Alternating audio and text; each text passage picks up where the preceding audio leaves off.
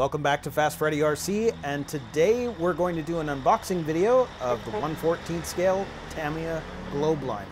Now, I'm even more excited about this than probably normal because this Globeliner is only one of four that has come into the country this year.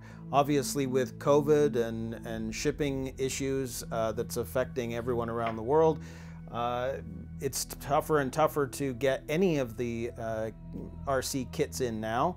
So the idea that this is only one of four that's coming to the country, uh, it just kind of blows my mind. So I'm very thankful to have this. So we're going to do an unboxing video of it. All right, let's go ahead and get started. Um, I've already taken the plastic off uh, just to make things easier. So I'm just going to go ahead and, and uh, open the kit.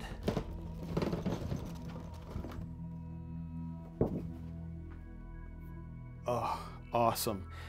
Uh, this is very cool. Um, I know there's a lot of people that don't like the blister pack, but this takes me back um, as a kid because, you know, with my Blackfoot, um, it was in a, blast, a blister pack, and I love being able to see the parts and how it was all listed. So it's so cool to see that in this model, um, they've actually kept the blister pack design. Uh, so obviously here, um, it, these here are the frame, your metal frame for the chassis. Let's put that back there for now. Maybe I can, I'll have to remove that. But here, uh, you can see this is the sun visor, that piece right in there. Uh, the grill, uh, we've got uh, the gas tanker uh, tanks for the um, end caps see there's a ladder. Um, oh, and there's there's the wiper, the wipers uh, on that end. On the other side, you can see we've got some of the the tail the uh, exhaust pipes. Uh, so that's very cool. On this one, looks like these are just mainly frame pieces for it. You can see there's some suspension uh, pieces in there as, as well. Uh, so that's very cool. And again, we've got the gas tanks. Look a bit more chrome pieces and then gas tanks again. So this, this package is definitely all the, the gas tanks. Then with this one, this bag has your transmission uh, housing as well as your um, as well as the axles the rear the rear axles for the for the truck. This here is your electronics platform for the cab. So it's also where see the right here you're going to have the front seats and I'm going to get a driver figure as well for it. Um, and then this is where you would put your 7.2 volt battery.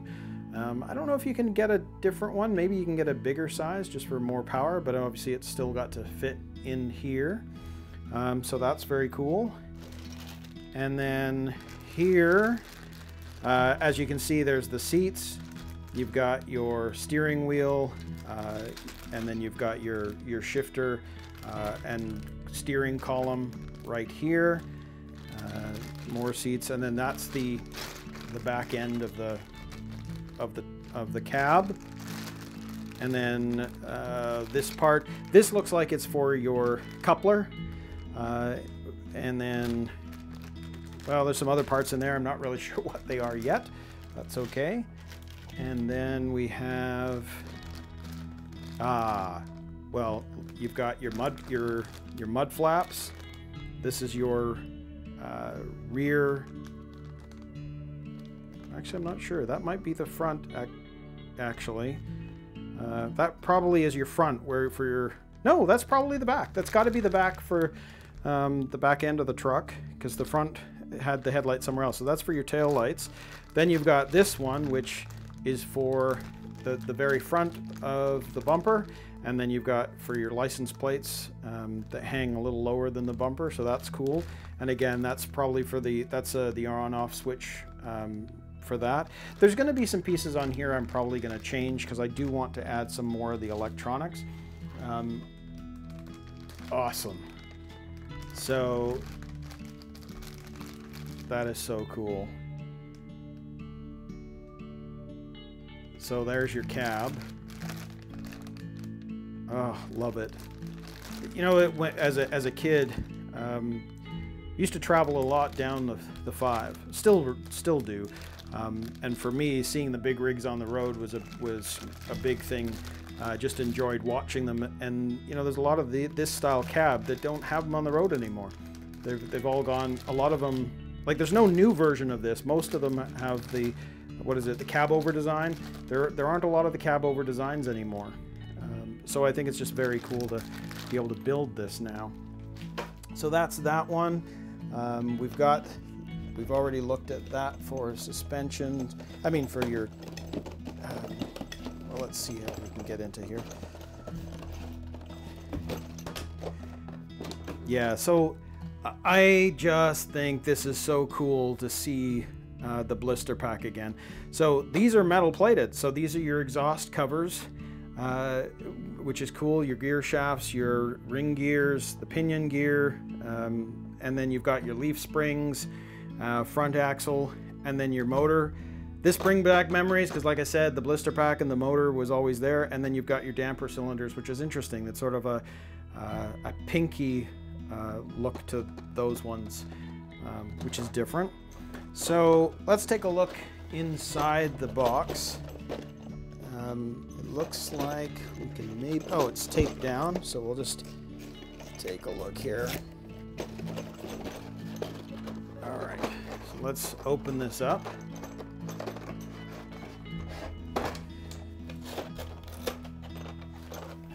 Okay, so in here, these are um, more of the parts that are uh, for the uh, that sit in the middle of the frames.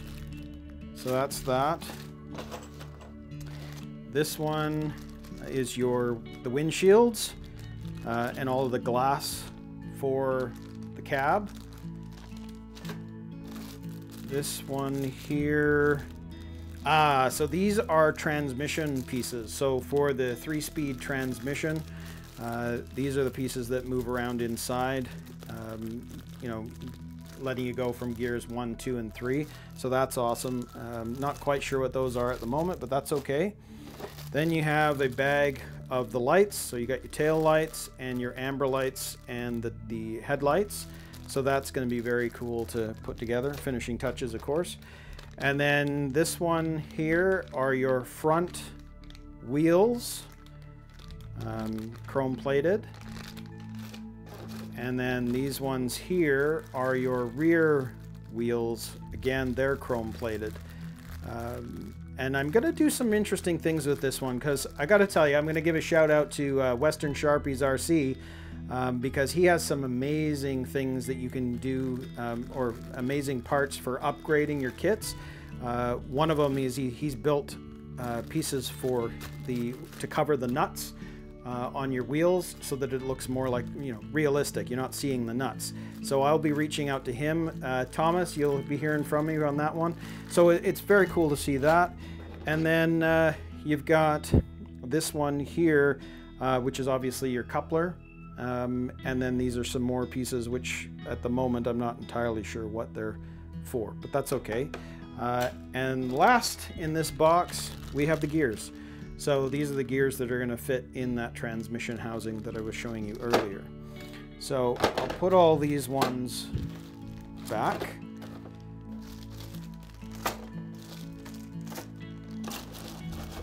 So cool to see. And let's put the globe liner back. The blister pack back, I should say.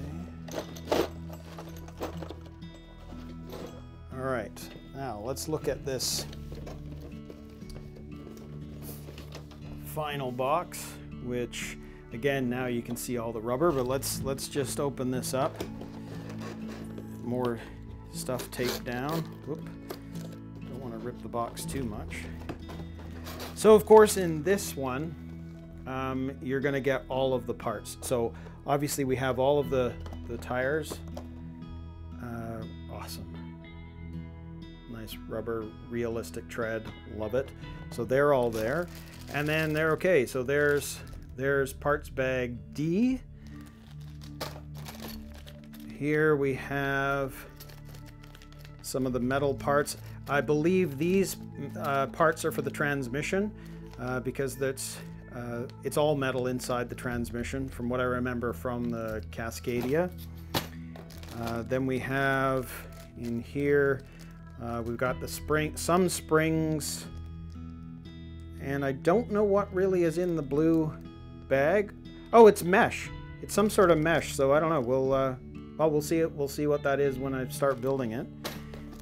Uh, this one here, you can see there are, I believe they're going to be again uh, parts for the transmission um, and probably some of the uh, the frame pieces as well. Uh, just holding the whole thing together as well. Uh, those pieces here, the bigger ones right there, I can already tell, those are for the suspension. I think they're for the front suspension. Um, so that's very cool. Uh, then you've got all of these, and again, you got parts bag A. Uh, this one here, we've got a spacer unit.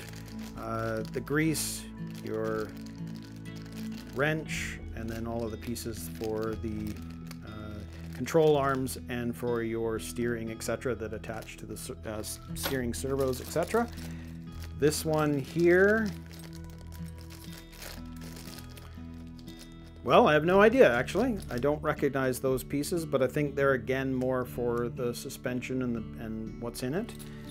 Uh, then we've got another bag of bolts, nuts. Uh, it looks like these are also parts that are going to fit onto the transmission uh, for your drive shafts that'll go from the front from the transmission to the wheels. Uh, and then, of course, you've got the hubs in there for uh, the pieces that are going to keep the wheels on the uh, on these things right here, actually, just to keep the wheels nice and nice and tight. So they go on there, so that's cool. Uh, this one here, I'm actually not really sure what those poles are for. Um, I know those are for the suspension, so those are for your springs on the back um, that are going to be, uh, that you end up having to build uh, for the leaf springs. So that's cool. Uh, they give you a full uh, package of liquid thread lock. Then, obviously, we got another parts bag B. There, tons of screws. This is going to take a while to build, I gotta tell you. Then we've got these pieces again are for the transmission. So you saw the big uh, black pieces for the transmission housing. Those are the metal parts that are going to be housed inside of it. So um, that's all part of that. Then we've got, uh, well, these are the brass bushings that uh, they've given you for the kit, but I will be replacing them with uh, full ball bearings. Um, I just, I've said this before, but I, when you're building a kit like this, I just think it's wise to replace everything with bearings. Uh, the kit's going to last a lot longer because um, these do create wear over time. Um, so, but I mean, look how many of them are. So, I, you know, I got to order some some bearings for that. Then we've got uh, some. Uh, well, it's your little screw. The uh, what do they call them? oh, I can't think of the name of them right now, but they're the little screws that you screw into like the drive shafts to keep them tight. Um, and depending on what it is, that might be where you'll use liquid thread lock. So um, that's all part of the gearing stuff. So that's cool. And then yet another bag of screws, which now this is parts bag F. And some more parts there. Don't know what they're for at this point, but there's more there. Then you've got uh, washers, some of the smaller screws, they're, they're all there. And that is now parts bag E. And then, again, another huge bag of screws, uh, washers, uh, E-clips. I hate E-clips. Uh, they're they're not fun to put on, but there's tons of them in this kit. I can see, uh, but that's okay. We'll make it work. And then that's parts bag C. And the final bag are your gears. So these are all the gears that are inside the transmission. It might be uh, gears for the uh, differentials in the back end, which I think that's what those are. I think those are the gears for the back end um, uh, for your axles. So that's very cool.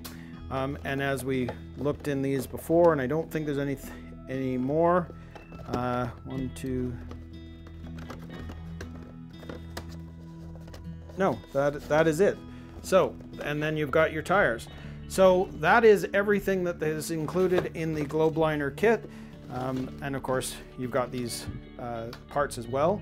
Now, the funny thing is, uh, you know, you've got, I mean, there's your there's your stickers. I forgot about those. so there's the stickers for the Globeliner, which I will be using. I haven't decided yet whether I'm going to paint this um, the actual yellow or whether I'm going to go for something different. I haven't decided whether I'll do it to kit specifications yet, but um, we'll we'll see. I'm not there yet. We'll um, I'll decide later.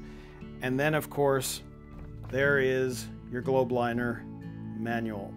Um, and as I've said before, um, Tamiya just does an amazing job of putting these instruction manuals together because you know exactly uh, what part to use uh, simply by just putting the screw or, or on the little pieces right here, for example. You put your the screw on top of that, you know full well you've got the exact one you need.